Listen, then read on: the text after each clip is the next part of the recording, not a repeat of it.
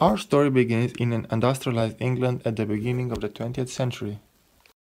The Victorian era saw a great rise in the country's urbanization, from 50% to almost 75%.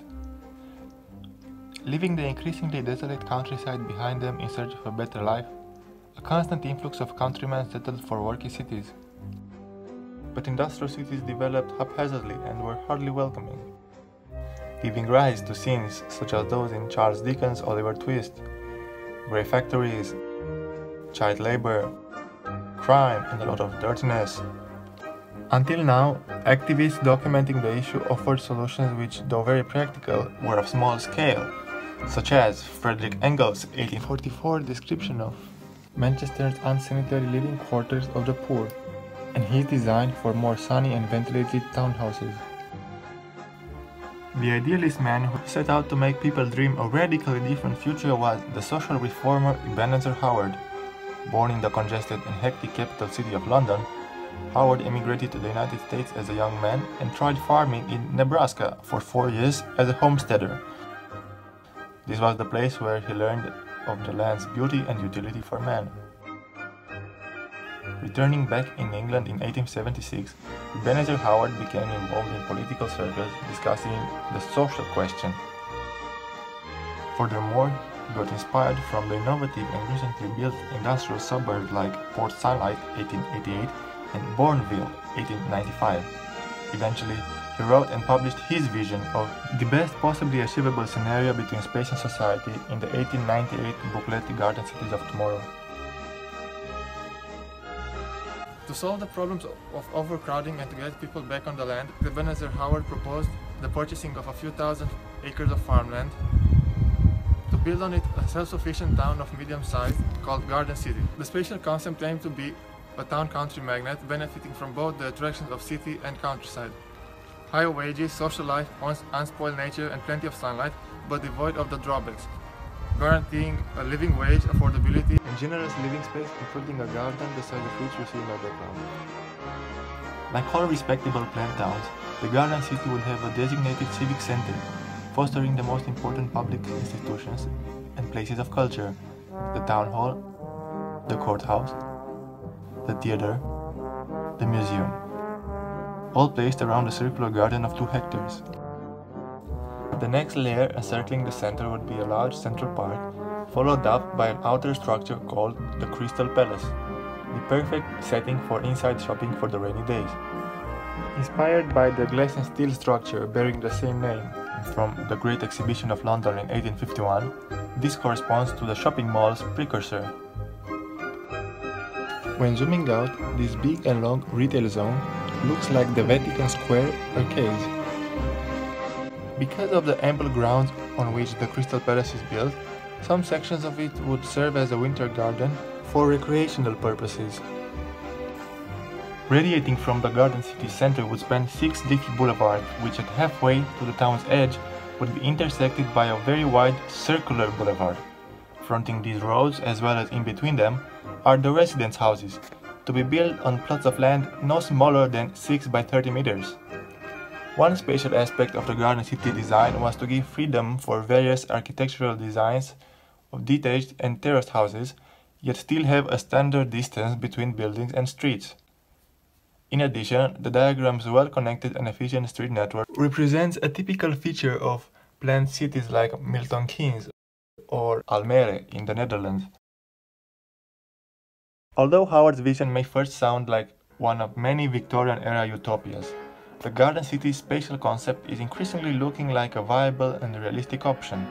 For instance, Howard says that the municipality is most fit to collect taxes and do the public works like building roads and utilities, but if a private contractor should be cheaper, competition will have the freedom to operate.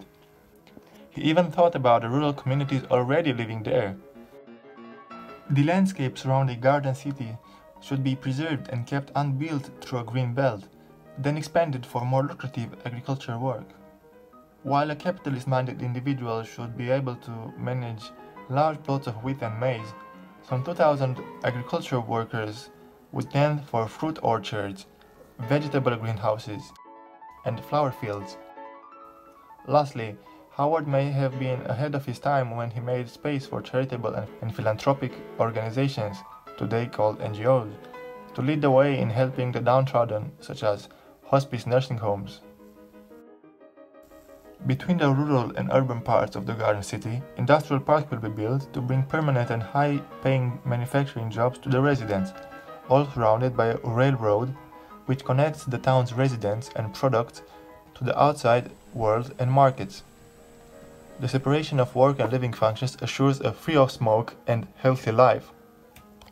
Finally, if we zoom out, Ebenezer Howard envisioned the network of garden cities connected between each other by a railroad network to form a viable metropolitan area. Today we might also add highways or at least bicycle paths. At the time of his writing, the automobile was not a widespread mode of transportation. Unlike other visionary planners like Frank Lloyd Wright or Le Corbusier, Ebenezer Howard lived to see his ideas get built during his lifetime, but by professional architects who could translate his diagrams into a specific site.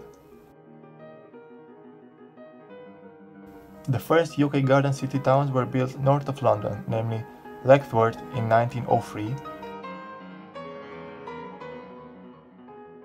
and Welwyn in 1920 where Howard himself lived until his death in 1928.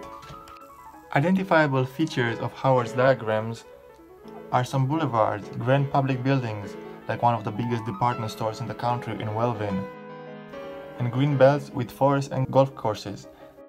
However, some principles are being departed from, like the train track that runs through the city and not on its outskirts, the center town being rather mixed use and more clustered, adjacent to the train station.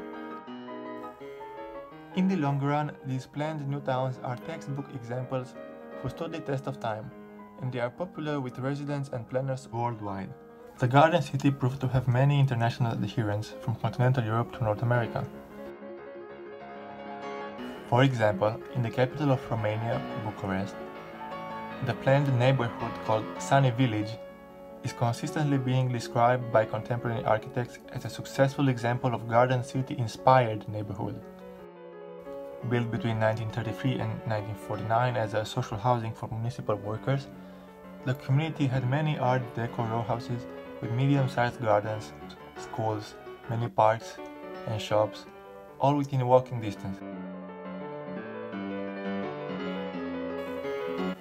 However, the estate's first residents were already employed, and they did not need new industrial parks or, or railroads to give them job opportunities just in order to move there. This goes to show the limits of the Garden City concept. Its implementation is a compromised form of the social reformers' original vision of a self-sufficient town.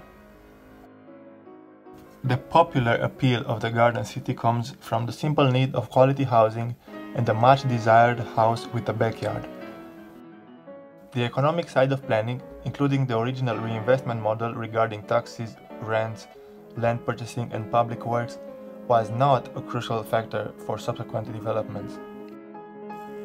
With its iconic town-country diagrams and compelling rhetoric, Ebenezer Howard earned his deserved place in the urbanism pantheon and pioneered the optimistic practice of modern town planning for years to come. Well, at least until the car came along.